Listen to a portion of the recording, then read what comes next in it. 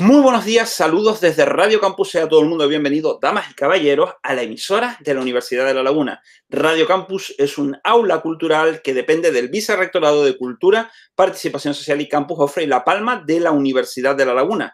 Es la emisora radiofónica universitaria más antigua de España y forma parte como tal de ARU, la Asociación de Radios Universitarias de España. Hoy tenemos otra entrega de nuestro programa dedicado a los cursos del vicerrectorado competente en materia de cultura y extensión, concretamente el programa que engloba los cursos interdisciplinares, transdisciplinares, de competencias transversales y de los objetivos del desarrollo sostenible. Y vamos a hablar de uno de estos cursos, concretamente de un transdisciplinar, animación sociocultural, retos para una sociedad post-pandemia. Para eso está con nosotros su responsable, la profesora Itaisa Pérez Pérez, que ya estuvo con nosotros el año pasado hablando precisamente de este curso. Itaisa, muy buenos días y una vez más, muchísimas gracias por concedernos unos minutos de tu tiempo. Buenos días, Luis. Un placer para nosotros, para todo el equipo de esta formación, participar nuevamente en el programa de radio de la Universidad de La Laguna. Hay que decir que el curso se presentó en la oferta de 2020, se repite en el 2021 y en este caso, aunque suelo seguir una pauta, diría que eh, la referencia a los retos de una sociedad para después de la pandemia del coronavirus, casi resulta ocioso preguntarte el porqué del curso. Sin embargo, sí me gustaría llamar la atención sobre un hecho, ya que quizá nuestra percepción respecto al momento en el que pasemos a ese punto, es decir, que podamos ver eh, la pandemia, si no como algo del pasado, sino como algo eh, con lo cual podemos convivir, como sucede, por ejemplo, con otro tipo de enfermedades que en su momento eran mortales, pero que están sometidas ahora a una vacunación constante, como las distintas modalidades de gripe, quizá aquí sí ya se haya planteado un concepto de cambio, porque al menos desde mi percepción o el contacto con la gente, lo que hace seis o siete meses, que fue más o menos cuando hablamos con, del otro curso, se planteaba como una finalización, al menos a corto o medio plazo, ahora se ha convertido en una especie de eh, convivencia regañadientes con un invitado muy poco deseado. Así que, eh, desde este punto de vista, Itaisa, cuéntanos, ¿cómo fue la experiencia del otro curso y qué novedades se plantean para este? Eh, pues Mira, precisamente con respecto al título, a través de las redes, cuando empiezo a difundir la formación, me llegaba, ¿no? Algunas de comentarios, sugerencias o críticas eh, sobre qué atrevidas a hablar de pospandemia cuando no habíamos terminado la pandemia, ¿no? Eh, se cuestionó también en el equipo si manteníamos ese subtítulo eh, o no, y yo aposté por mantenerlo, ¿no? Porque el, el curso además está enfocado en cuanto a esa, bueno, aventurarnos con todo el respeto, ¿no? Y la humildad posible a qué va a pasar en esta nueva realidad, como tú decías, ¿no? Que estamos viviendo. Y, que creo que viene para largo y ya hace un tiempo era más consciente de esta realidad y parece ser, según los profesionales, que efectivamente eh, nos toca aprender a vivir de una forma diferente. Entonces, en la animación sociocultural, según los decretos que se han ido publicando desde que se creó el estado de alarma, Em, ha quedado bastante relegado toda la parte que, tiene que ver con el ocio educativo, ¿no? Y, nos parece fundamental porque en lugar de darle eh, el impulso que necesita, teniendo en cuenta eh, las secuelas y las consecuencias ¿no? que está generando esta pandemia en toda la población, eh, personas mayores, jóvenes, niños, eh, adultos, es decir, a todas las personas nos está afectando. Y está afectando mucho porque hay, por ejemplo, centros de mayores que se han tenido que cerrar, centros no de residencia exclusivamente, sino centros de envejecimiento activo, ¿no? Donde trabajan los mayores activamente, donde hay programas de animación sociocultural, eh, donde ellos tienen Mm, están acostumbrados a, tener esa actitud muy activa, proactiva, ¿no? Pero también ha afectado a niños y niñas que de repente no pueden salir a parques a jugar, a bebés que han nacido en, esta, en este contexto y no están acostumbrados a, casi relacionarse con otras personas, sino con los más cercanos. Es decir, esto está afectando a todas las personas, ¿no? Y por lo tanto, eh, apostamos por mantener ese subtítulo porque consideramos que aquí lo que vamos a plantear son líneas de trabajo que ya se vienen desarrollando en animación, que se deben de fortalecer y entre ellas, que fue una también de las mm, sugerencias o de lo que más nos incidieron el grupo del año pasado, era en fortalecer todo lo que tenía que ver con las TIC, ¿no? Y creo que la animación, que es muy vivencial y es muy personal, necesita el contacto, ¿no? Eh, lo humano, eh, está casi relegada a la virtualidad como otras tantas actividades. Te dejo ahora paso para que eh, a través de tu propia presentación pues eh, incidas en algunos de los detalles de interés que se plantean respecto de esta edición de 2021. Volvemos a recordar que este curso transdisciplinar, Animación Sociocultural, Retos para una Sociedad Postpandemia, se va a desarrollar en el otoño a partir del 3 de noviembre, que es reconocible por los créditos de la oferta oficial de la Universidad de La Laguna y que se va a llevar a cabo con carácter telemático. Dicho esto, y Taisa, eh, ¿puede una persona que haya participado en la edición de 2020 repetir en 2021? ¿O la variabilidad que has comentado previamente no es suficiente como para hacer, digamos, doblete? La verdad es que eso me lo, he cuestionado mucho. Eh, ¿Una persona podría participar? Sí. ¿Que va a repetirse bastante contenido también?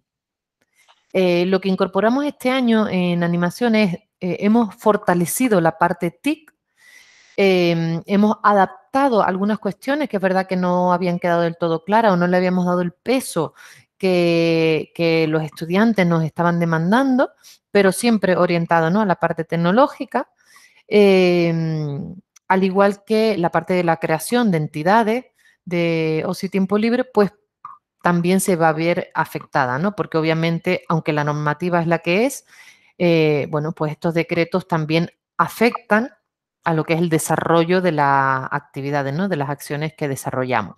Y sí es cierto que incorporamos una nueva temática también en este curso, que es la creatividad.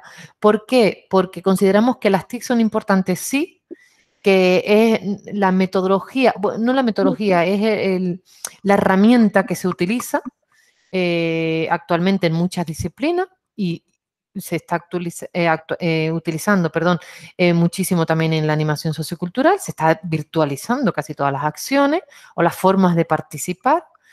Y, mm, pero a la vez creemos importante que tenemos que seguir creando. Tenemos que seguir siendo creativos, que se pueden hacer actividades presenciales, que hay que cambiar las formas, ¿no? Y hay compañeros y compañeras desde la animación sociocultural que lo están haciendo. Eh, el otro día, por ejemplo, veía un compañero de Asturias que tiene el taller de animación sociocultural y, estaba haciendo actividades con grupos reducidos, por supuesto.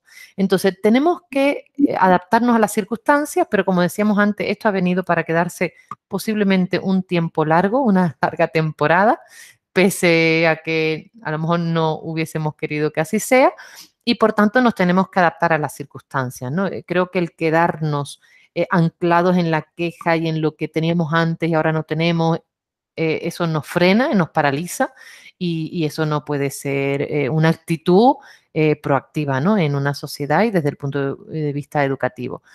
Por tanto, bueno, pues eh, eh, creo que, he respondido, ¿no? Más o menos a lo que tú planteabas. Eh, ¿Lo pueden hacer? Pues sí, pero sabiendo esas cuestiones, ¿no? Que hay aspectos nuevos y que van a haber otros aspectos que se van a repetir. Estamos hablando en el ámbito de este curso de una sociedad post-pandemia. Tú acabas de comentar que eh, ciertos aspectos del desarrollo de la animación sociocultural se están llevando a cabo con carácter telemático y están aquí para quedarse. Pero esa permanencia, valga la redundancia anticipada, va a ser permanente. Son muchas las voces que comentan en otros ámbitos, por ejemplo, el nuestro, el académico universitario, que eh, las cosas no van a ser como eran antes y que, por ejemplo, eh, la multiplicación como panes y peces de todo el tema de eventos, actividades, congresos, jornadas, seminarios que se están desarrollando telemáticamente, van a plantear que muchos eventos que eran de naturaleza presencial van a seguir siendo telemáticos más allá las restricciones de movimiento y presencialidad que trae consigo la pandemia del coronavirus.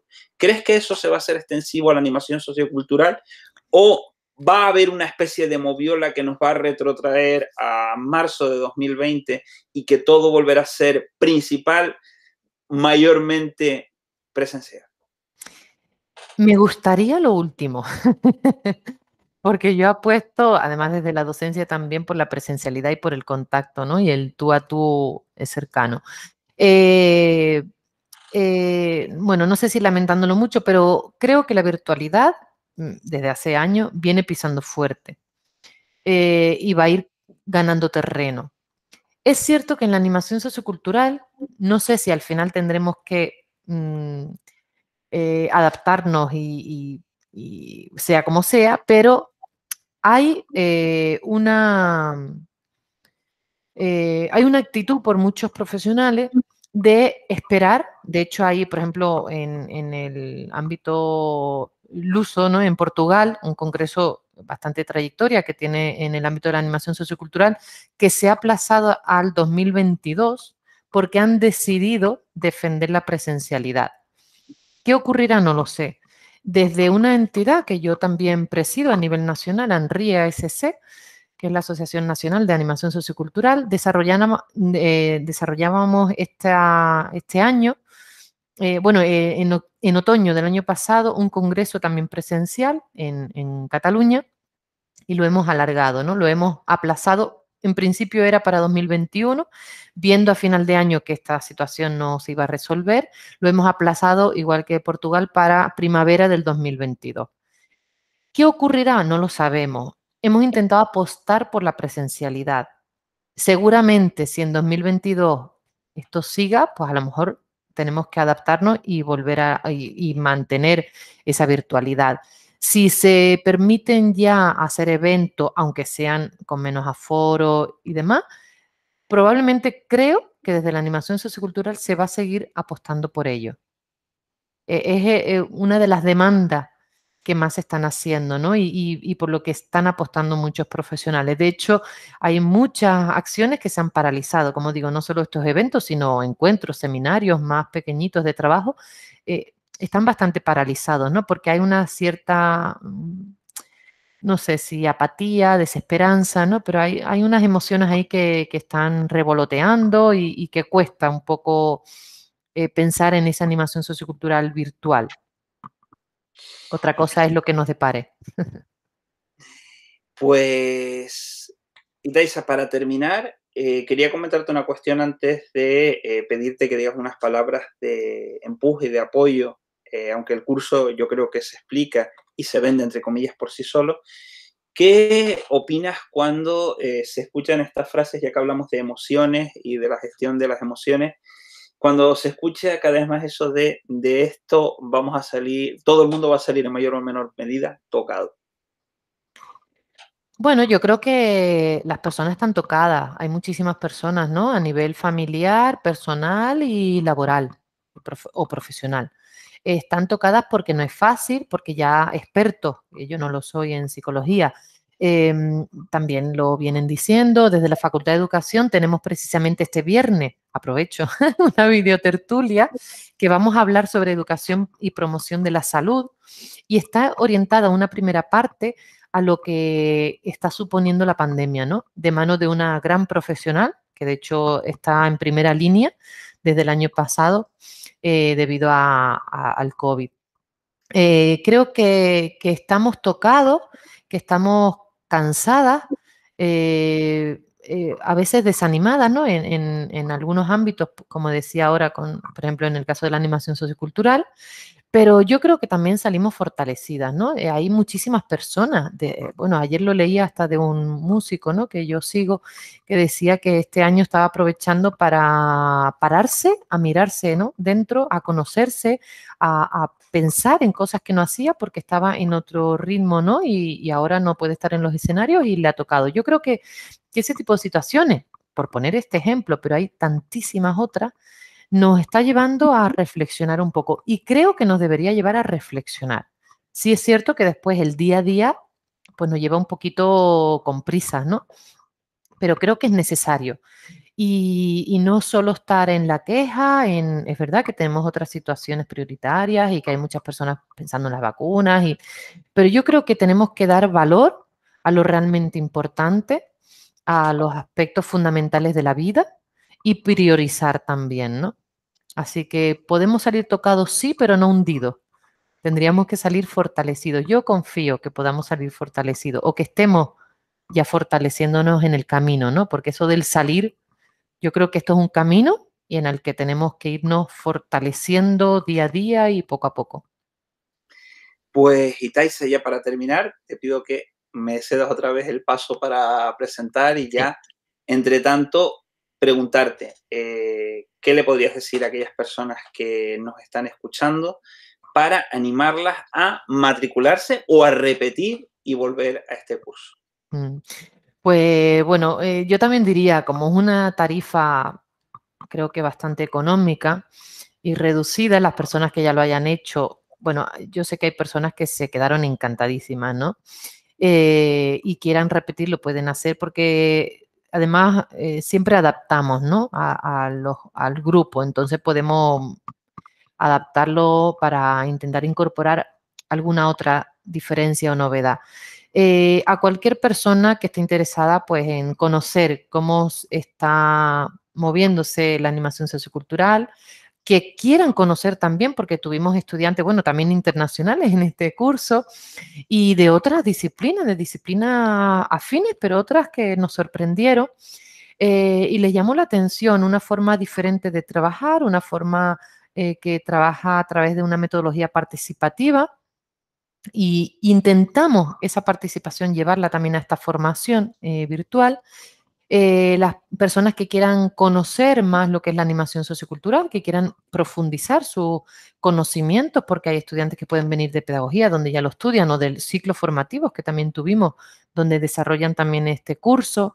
Eh, pues que aquí les esperamos, ¿no? Para poder trabajar, para fortalecer los cimientos de la animación sociocultural, los pilares, para facilitarles herramientas virtuales eh, a través de las cuales podemos dinamizar eh, virtualmente la animación sociocultural y crear a través de la creatividad, valga la redundancia, pues eh, poder eh, idear eh, entidades, asociaciones, empresas de animación sociocultural que trabajen desde el ocio educativo, otras temáticas, ¿no? Pues, Itaisa, con estas palabras nos despedimos, no sin antes desearte a ti y a todas las personas que componen el claustro académico de este curso la mayor y la mejor de las suertes en esta iniciativa formativa. Pues muchísimas gracias, Luis, Radio Universidad de La Laguna y al Vicerrectorado, por supuesto, a Extensión Universitaria, por darnos la oportunidad otro año más en esta segunda edición de lanzar la formación. Y bueno, pues aquí les esperamos con ilusión. Pues hemos hablado con Itaisa Pérez Pérez del curso Anonimación Sociocultural Retos para una Sociedad Post-Pandemia. Se trata de un curso transdisciplinar en línea de este año 2021 reconocible por dos créditos de la oferta oficial de la institución y que arrancará el próximo 3 de noviembre de este mismo año. Esto es Radio Campus, esto es la Universidad de La Laguna.